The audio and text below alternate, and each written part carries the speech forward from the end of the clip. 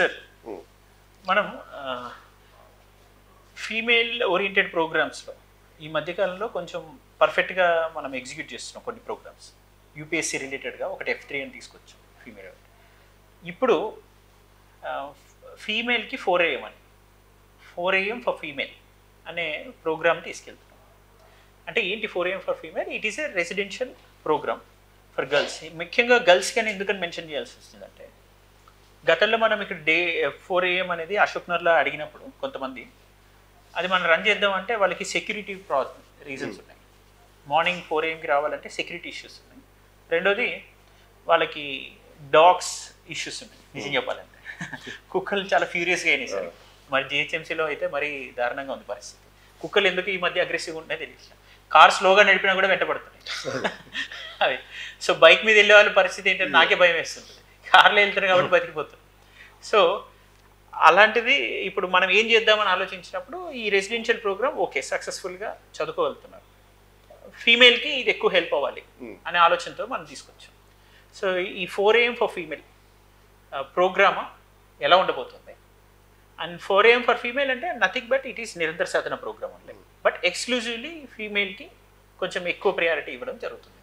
దీన్ని ఎలా మనము తీసుకెళ్ళబోతున్నాము దీని ఇంటెన్షన్ ఏంటి?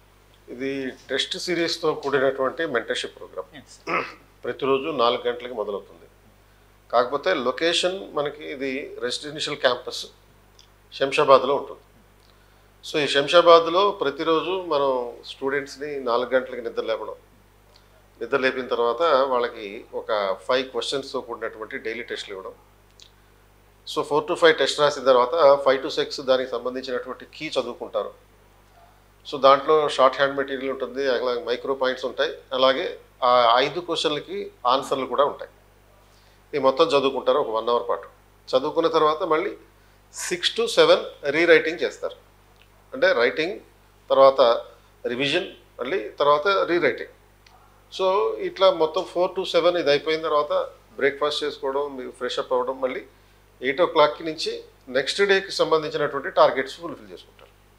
Next day next day test కోసం ఏమేమి చదవాలో స్లాట్లు ఇస్తాం. ఆ స్లాట్ల ప్రకారం ప్రిపేర్ అయిపోతారు సో ఇది మొత్తం రెసిడెన్షియల్ క్యాంపస్లో ఉంటుంది కాబట్టి రెసిడెన్షియల్ క్యాంపస్లో మనకి ఒక ఓపెన్ ప్లే గ్రౌండ్ ఉంది. అండ్ అలాగే కాబట్టి ప్లే గ్రౌండ్ కూడా ఉంది కనుక వీళ్ళు ఎక్సర్సైజ్ ఇలాంటివి చేసుకోవచ్చు. మనకి పీడీలు ఉన్నారు అక్కడ. ఫిజికల్ ఇన్స్ట్రక్షనర్స్ కూడా ఉన్నారు కాబట్టి ఓవరాల్గా కాంప్రహెన్సివ్గా రిలాక్స్డ్గా ఒక చోట కూర్చుని ఈ మూడు నెలల పాటు అమ్మాయిలకి సురక్షితమైనటువంటి ప్రదేశంలో చదువుకునేటటువంటి అవకాశం ఇవ్వడం జరుగుతుంది అన్నమాట సో ఇది ఫోర్ ఏఎం ఫర్ ఫీమేల్ అనేటటువంటి ప్రోగ్రాంలో భాగంగా చేస్తున్నటువంటిది. That's it four AM for female అంటే మన నిరంతర సాధన ప్రక్రియలో భాగంగా. మీరు ఫోర్కి లేచి చదవాలి అంటే ఒక డేలో హాఫ్ డే నేను సేవ్ చేసుకోవాలి. అని ఇంటెన్షన్ ఉన్న వాళ్ళకి తీసుకొచ్చారు ఫోర్ టు ఫైవ్ రాస్తారు. ముందు రోజు చదువుకున్న టాపిక్ మీద ఫైవ్ టు సిక్స్ దాన్ని ఎవాల్యుయేట్ చేసుకుంటాము. వాల్యుయేషన్ చేసుకుంటాం. Six to seven rewrite before breakfast finish చేసి పెట్టుకుంటాం. ఇది four AM residential for female yes